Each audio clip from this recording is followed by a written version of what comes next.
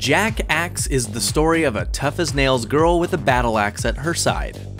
Her name is Jack, and she's the brave adventurer at the center of this bright 2D platformer. This game blends Norse and Filipino mythology to create the story of a quest offered up by a somewhat old-fashioned, sexist deity who becomes quite bothered that this young woman and her sisters are stepping up to take on the challenges themselves instead of a man. Well, Jack will soon prove that she's up to the task.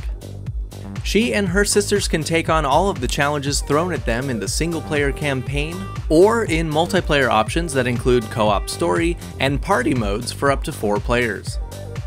The design of the game is reminiscent of 8 bit classics like Mega Man, and the gameplay is quick, brutal, and satisfying in a way designed to challenge gamers' reflexes and puzzle platforming skills. Fans of games like Super Meat Boy will find joy in rampaging through Jack Axe's environments while getting to know its unique twist in how you use the axe itself. Players can toss the axe out as a weapon, against enemies of course, but there's more to it than that. Jack and her axe have a connection that allows her to fly out to the axe's aiming reticule like a magical Viking grappling hook.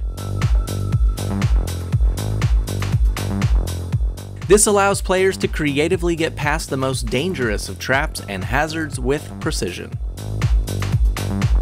Jack Axe was created by a family of game developers and any game made with this much love behind it will have charm to spare.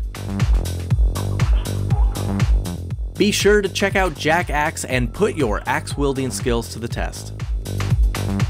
And stay tuned right here on the Legion Gaming community site for gaming entertainment, news, and first looks.